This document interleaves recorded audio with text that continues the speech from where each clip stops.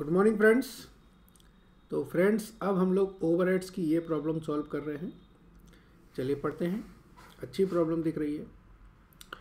The A V C company has the following account balance and distribution of the direct charges आपके production department दे रखे हैं service department दे रखे हैं, ठीक है? ये एलोकेटेड ओवरहेड्स हैं और नीचे लिखे हैं ओवरहेड्स टू बी अपोर्सनड इसके बाद इनके बेसिस दे रखे हैं, नीचे पढ़ते हैं।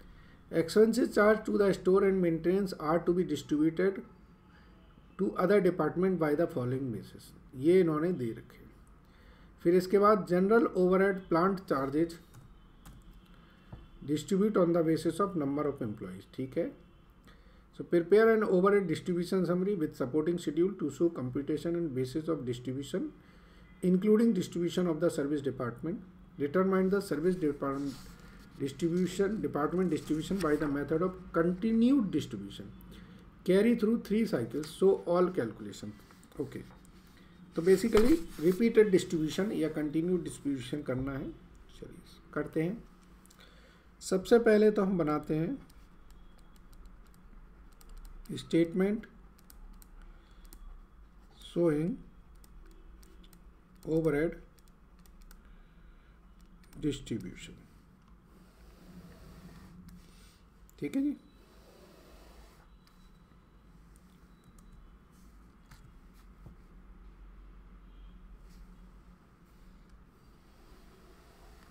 चलिए। ये हमारे सर्विस डिपार्टमेंट हैं। ये हमारे प्रोडक्शन डिपार्टमेंट हैं।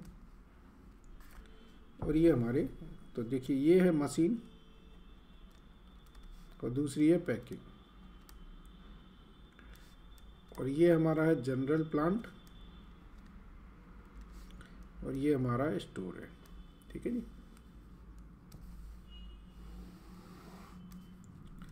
अब इन्होंने कहा था कि भाई सपोर्टिंग करके देना है। चलिए तो इनडायरेक्ट लेबर क्वेश्चन में दे रखी है। चार हज़ार, तीन हज़ार, दो हज़ार फाइव सिक्स फाइव दे रखी है। इसके बाद है मेंटेनेंस मटेरियल ये टोटल भी लिख लीजिए।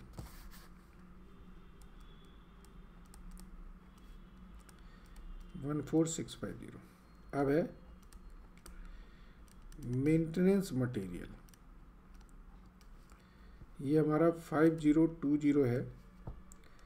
अलग अलग डिपार्टमेंट में अठारह सौ, सात सौ one zero two zero fifteen hundred. फिर है मिसलेनियस सप्लाईज। ये सत्रह सौ पचास है।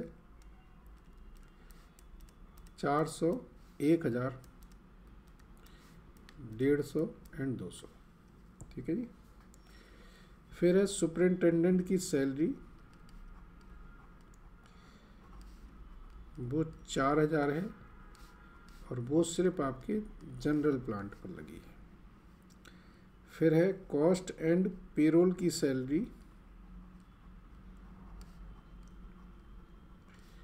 वो हमारी दस हज़ार है और फिर वो सिर्फ़ जनरल प्लांट में लगी है। इसके अलावा हमारे जो खर्चे हैं, वो हैं ओवरहेड टू बी एलोकेटेड तो अब हम एक वर्किंग नोट बनाते हैं।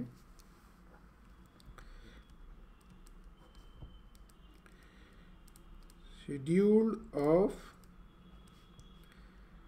ओवरहेड एलोकेटेड ठीक है जी?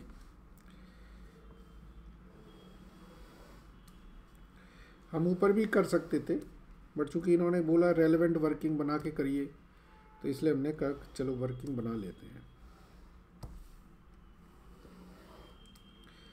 यहाँ पर लिखेंगे हम बेसिस यहाँ लिखेंगे अमाउंट यहाँ ये मशीन के, ये पैकिंग के, ये जनरल और ये स्टोर ठीक है जी? तो पहले तो एक काम करें कि सारे खर्चे लिख दें। तो ये पावर का है छप्पन सौ, इसके बाद रेंट है पाँच हज़ार। बुक से देख लीजिएगा। फ्यूल है। बारह सौ। इंश्योरेंस है। छः सौ चालीस। टैक्सेस है। बारह सौ अस्सी। और डेप्रीसिएशन है सिक्सटी फोर थाउज़ेंड। ये हमारे खर्चे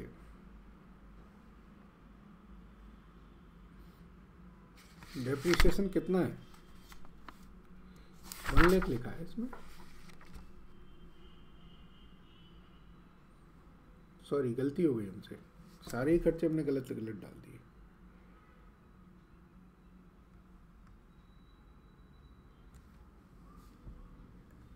एक सेकेंड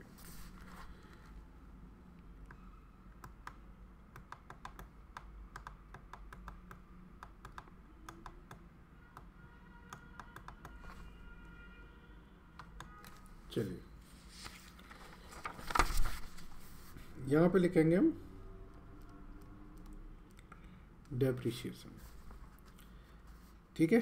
अब खर्चों की बात करें तो ये हैं आठ हज़ार, ये हैं बारह हज़ार, ये है छः हज़ार, ये है एक हज़ार, ये है दो हज़ार और ये एक लाख। ठीक है जी? ये खर्चे हैं। अब इन खर्चों को हमें एलोकेट करना है सूटेबल बेसिस पर। तो देखिए, जैसे पावर है तो पावर हमारे किससे बढ़ जाएँगे? क्वेश्चन में कुछ ना कुछ दिया हुआ। हॉर्स पावर दे रखे हैं। तो पावर तो हमारा बढ़ जाएगा। हॉर्स पावर से रेंट बढ़ जाएगा हमारा। एरिया से। फ्यूल फ्यूल के लिए इन्होंने क्या दिया है? इन्होंने रेडिएटर सेक्शन दे रखे हैं। ठीक है? इसके बाद इंश्योरेंस, इसको हम इन्वेस्टमेंट मतलब जो आपकी पैसा लगा रखा है, उस अमाउंट से आप लगा सकते हैं। ठीक है? सुना अब अगर मैं हॉर्स पावर से बांटता हूँ तो पैंतीस सौ, पाँच सौ और एक हज़ार। So this amount comes to छप्पन सौ, आठ सौ, सोलह सौ। ठीक है? फ्लोर स्पेस कितना है? फ्लोर स्पेस हमें दे रखा है दो हज़ार आठ सौ, चार सौ, सोलह सौ। तो इसको बांटें दैट कम्स टू पाँच हज़ार। दो हज़ार, एक हज़ार, चार सौ। इसी तरीके से फ्यूल को बांटेंगे रेडिएटर सेक्शन में तो बारह सौ, चौबीस सौ, आठ सौ, सोलह सौ। ठीक है? ये आएगा छः सौ चालीस, दो सौ, दस रुपये एंड डेढ़ सौ। ठीक है? तो एक हज़ार का है तो ये इसी प्रोपोर्शन में sixty four thousand twenty thousand one thousand fifteen thousand ये डबल हो जाएगा। तो बारह सौ अस्सी, चार सौ, बीस और तीन सौ। ठीक है जी? अब इसका टोटल कर लीजिए। तो ये आ रहा है हमारा seventy seven seven two zero twenty five thousand eight hundred two eight three zero zero overhead जो वर्किंग नोट वन है, उससे आ जाएँगे। ठीक है जी?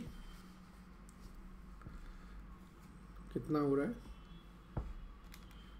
बीस प्लस एक लाख नौ हज़ार। इसका total one lakh twenty nine thousand one lakh twenty nine thousand तो ए इसमें गया seven seven two zero two five eight double zero two eight three zero and two two six five zero ठीक है जी? अब इसका टोटल करना है।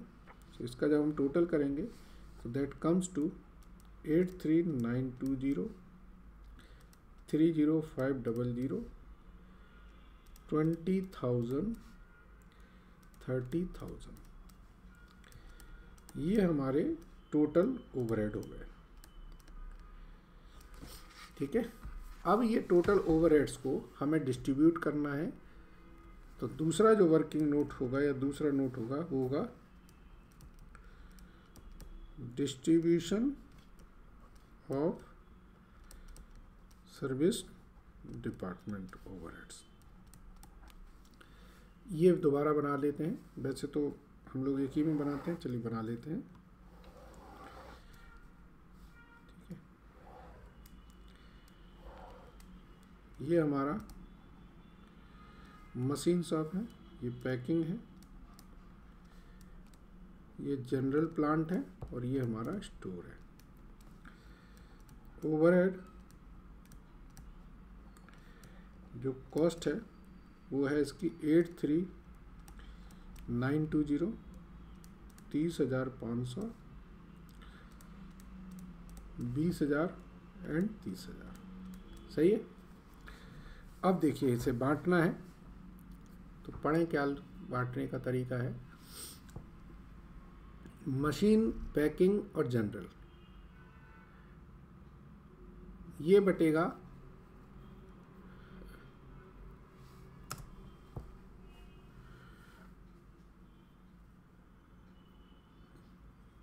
मेंटेनेंस का, ठीक है जी? तो पहले हम स्टोर एंड मेंटेनेंस को बांटते हैं।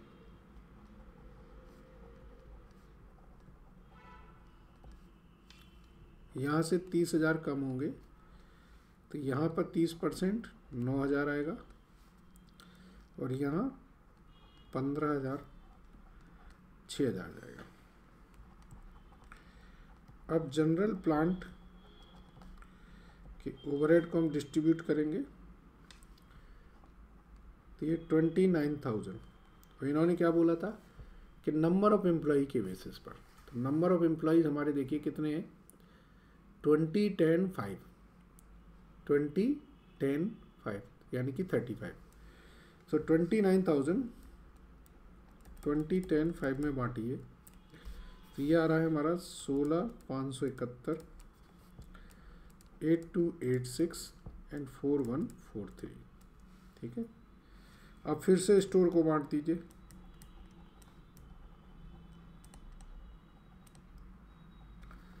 तो ये minus four one four three होगा। तो यहाँ पर थर्टी परसेंट जाएगा। One two four two, eight two nine, two zero seven two. अब फिर से जनरल को बांट दीजिए। तो जनरल बटेगा तो यहाँ पर ट्वेंटी टेन फाइव में वन सेवेंटी सेवन ये minus one two four two कम हो जाएगा, और ये हो जाएगा three fifty five and seven hundred ten अब फिर से स्टोर को बांट दीजिए। क्वेश्चन में बोला था तीन बार बांटना है।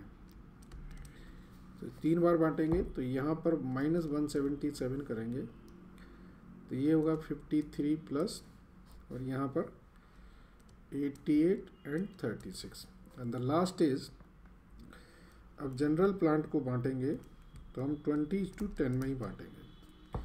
तो ये थर्टी फाइव और एट्टीन में बांटेंगे। अब इस बारे से नहीं बांटेंगे, ठीक है? तो इसका खर्चा आएगा one one eight three nine six four six zero two four ठीक है फ्रेंड्स तो ये जनरल ओवरहेड्स को फिर से डिस्ट्रीब्यूट किया गया है।